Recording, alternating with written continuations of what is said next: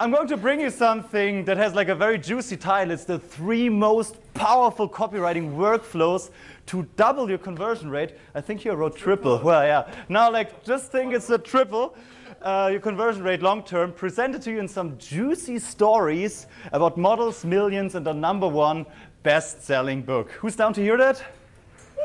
No, a few people at least. Okay, better than nothing. Okay. So first of all, what's in it for you today here? So first, how I quintupled, and this is like really, I really quintupled it, my client's landing page conversion rate within 10 minutes by using the four U formula, plus how you can do the same with your own funnel. It's a pretty simple technique, but it's one of the most powerful copywriting techniques that you can use um, to yeah, increase your conversion rate. Second point, what a long conversation with a Ukrainian model taught me about boring conversations and how this helped me to make my client's book a number one bestseller in German bookstores plus on Amazon. And the third is how my beautiful girlfriend, who is always late, uh, helped me to create one of the best performing freebie landing pages of my career in less than half an hour. All right, let's do that. First of all, for the guys who don't know me yet, um, who is this guy with the strange shirt and why should you listen to that stuff instead of going to the bathroom and check your Instagram?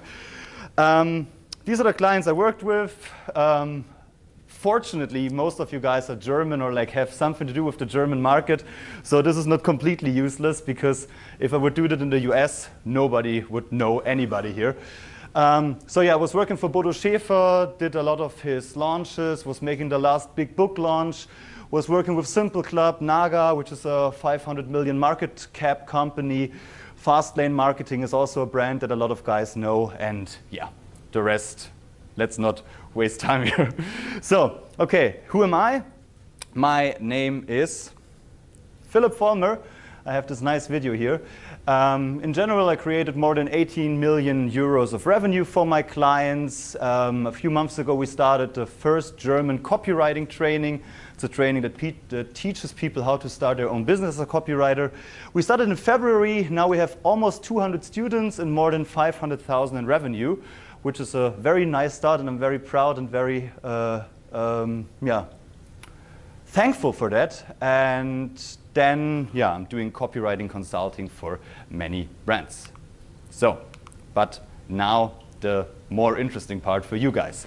So one of my clients came to me with her landing page and the conversion rate was 3.33%, which was all right for cold traffic, but we changed it and we increased it to 13.11%, which quintupled it basically. I think that's more or less accurate.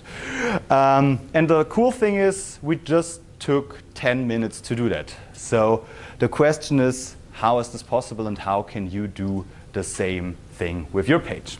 The answer is, um, yeah, let's start with a quote by David Ogilvy, uh, one of the copywriting legends. Who knows who David Ogilvy is? Oh, that's surprisingly not so many people. It's the founder of Ogilvy and Mathers, like one of the biggest marketing uh, agencies in the world. And Ogilvy used to say, well, on the average, five times as many people read the headline as read the body copy. When you have written your headline, you have spent 80 cents out of your dollar. That means whatever you do in marketing, the headline is one of the driving forces. So you use your headline to grab attention, and if it's not catchy enough, it's not, if it's not sexy enough, nobody will read the rest. So for example, when you write a, an email and the, yeah, like the Betreffzeile, the, the title of the email is not sexy, nobody will click on it. So it doesn't matter how good the email is, nobody will read it. And that's why it is important to write sexy headlines. And if you have a good headline, it's like the big domino. It's like tick, tick, tick, tick, tick. Everything else will fall into place. And this is not just for emails, it works for landing pages, for mails, for ads, and of course also for videos when you have like a pattern interrupt, because like the first two sentences that you say in a video grab the attention of your potential client.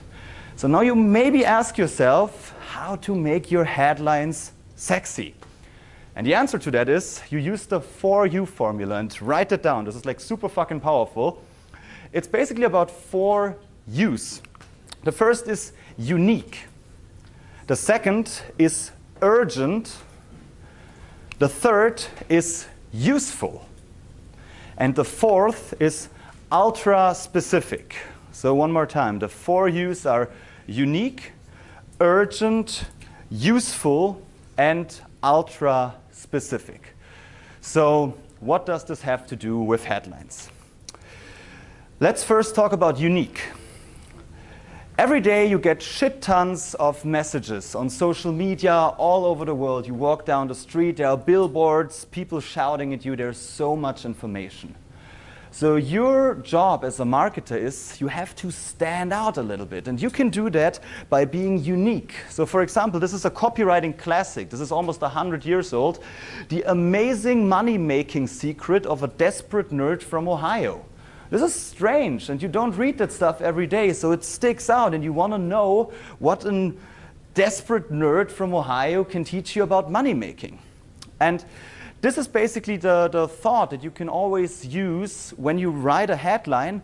How can I make it more unique? Like, it also has a little bit to do with how you present your offer in general.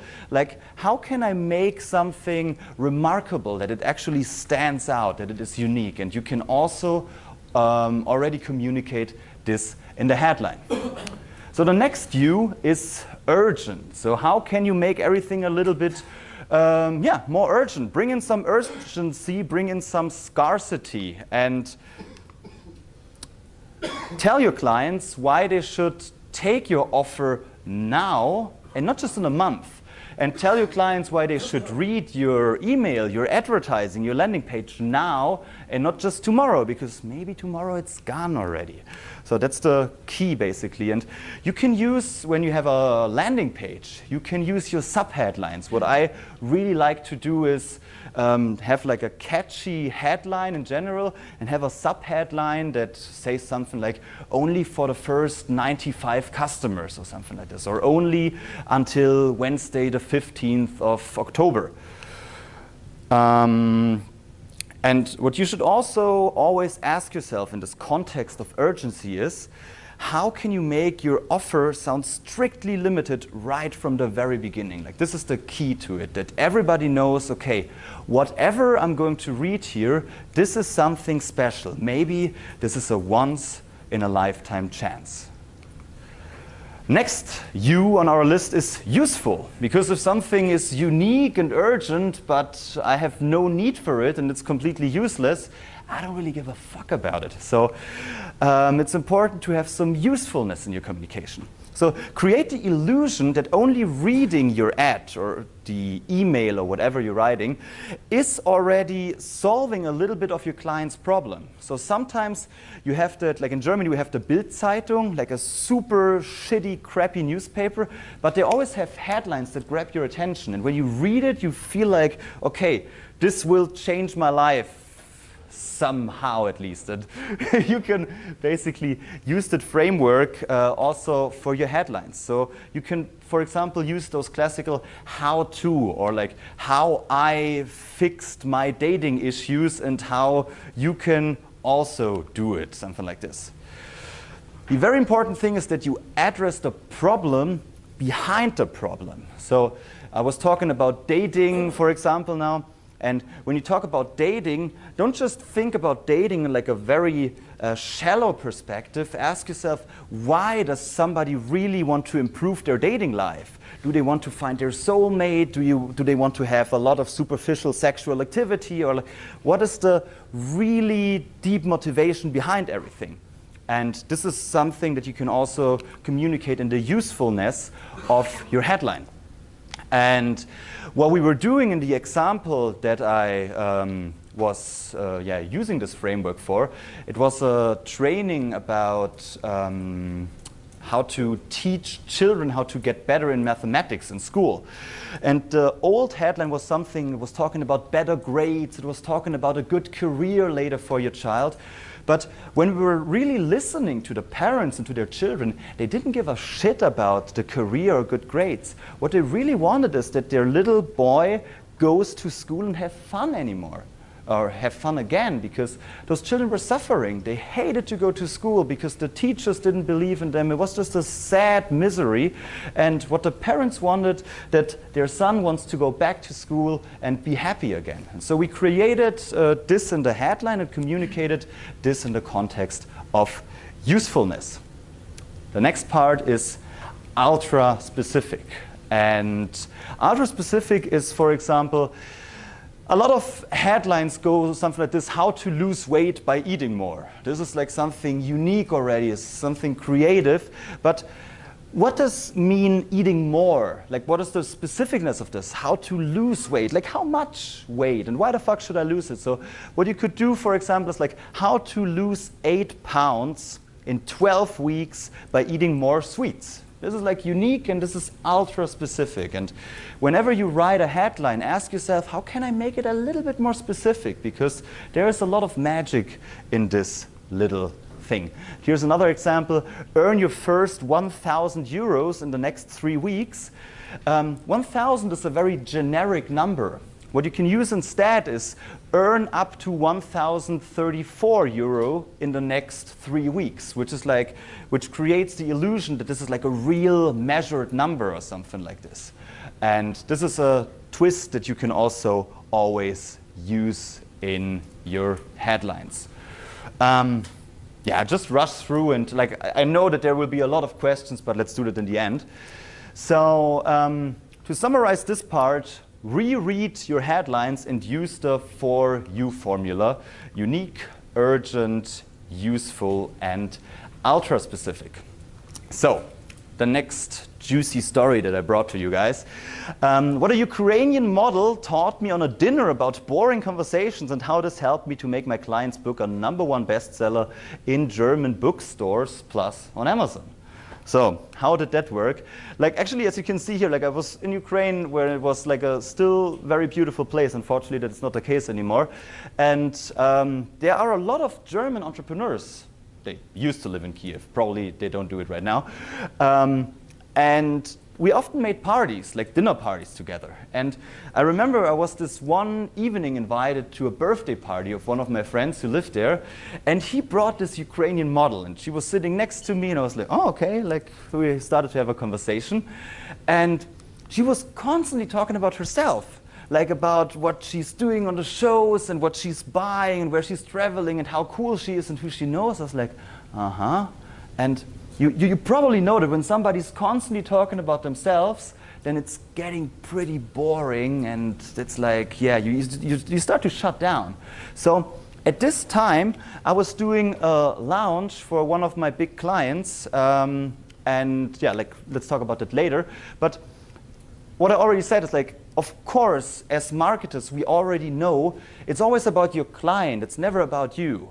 And I thought when I had this boring conversation, how can I bring that to the next level? Because as I said, like it's an obvious thing. We should always talk about our customer and not about ourselves.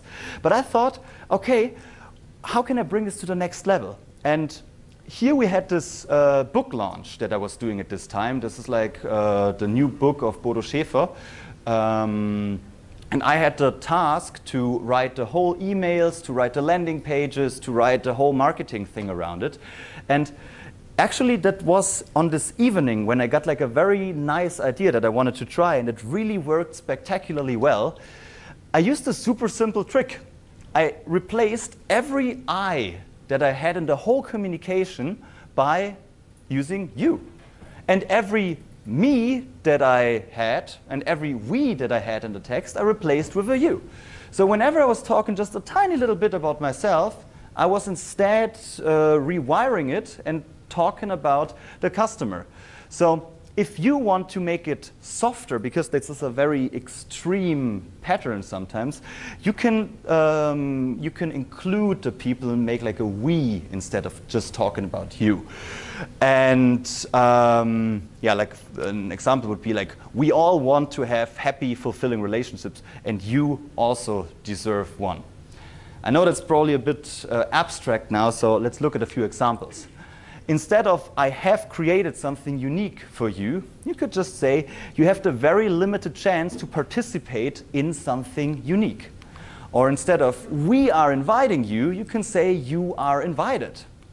Or instead of I want only the best for my clients, you should say, you as my client only deserve the best. So you always reshift the focus a little bit onto your client and make it more personal and make it more um, yeah, persuasive in the end. So always ask yourself when you're writing copy, um, how can I make it even more about them and even less about me? This is the magic of it. So, and this is slide number three. This is my beautiful girlfriend, and she's Brazilian, so she's always late, and it grinds my gears sometimes so much.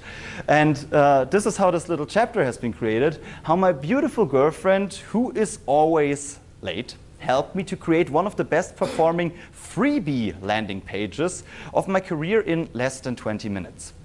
Because actually, we have been invited no, like we haven't been invited. We wanted to go out for dinner, and I was waiting already for three hours. It was super late. I was so angry, and like because I'm nice, I like I have this tendency to say fuck that and go uh, go eating dinner by myself. But we had like to we wanted to make like a nice evening. So I was waiting for him. Was super hungry, and I thought, okay, I just used the time that I have to to work, and I was working on this freebie page at this time, and because she sometimes forgets to call me, one moment she stu just stood in front of my door. I was like, okay, Filippi, we can go now.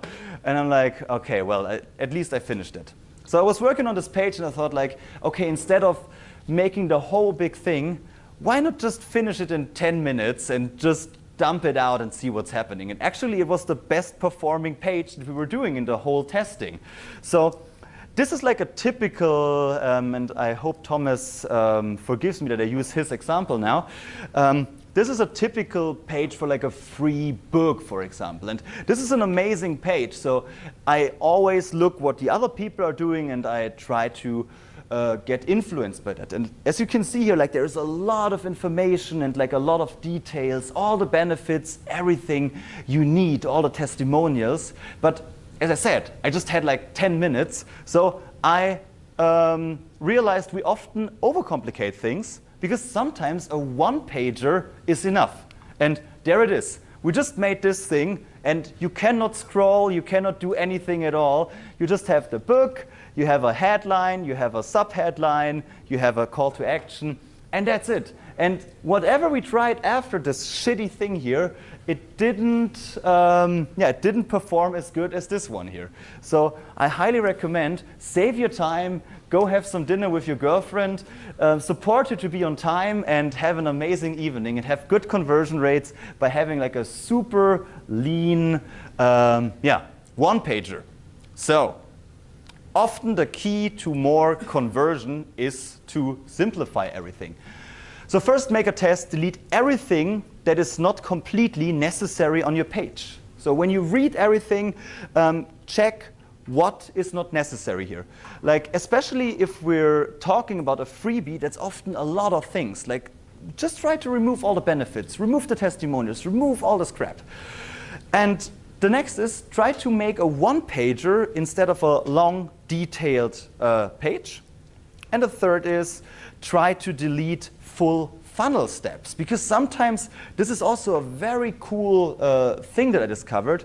Sometimes as entrepreneurs, we're very proud because we have created this amazing thing and when they click there, they get this email and then they get this retargeting campaign and then this happens and that and that. Just try to kick all that shit out and make it super simple. Like we have this funnel right now, it's just like one opt-in page, one video, one thank you page, and whoever clicks on it gets a shitloads of email that's basically it what we do and it works amazingly well. So often try to yeah just try to to make everything more simple. Try to make it as easy and lean as anyhow possible. I realized that often this is like the key to success in all the different elements and funnels.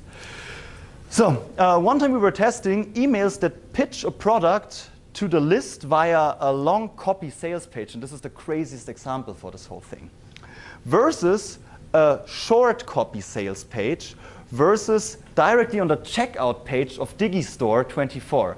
Like long sales page versus short sales page versus ugly thing on Digistore with the click here. And actually, I think I wrote the conversion rates down. Yes, so we had 0.3 on the long, 0.8 on the short, and 3.5 on the direct thing with the, with the Digistore um, formula. And as I said, like this is a, I think it's a very counterintuitive approach because we always think we need to create something more beautiful, more nice and persuasive, but sometimes simplicity is the king here. So, or it's the key here. Sometimes the key is keeping things simple. Always ask yourself, am I overcomplicating things right now? How could I, how could this whole thing here work even simpler? So, and because it's so simple, I don't have a call to action, I don't have an offer, I don't have anything. But this uh, QR code here, that brings you to my Instagram, and it's recently very nice because I have a very, a few very nice photos. And if you want to follow me, you can just follow me here on Instagram by screening that thing, and yeah, see a few nice things. So that's basically it.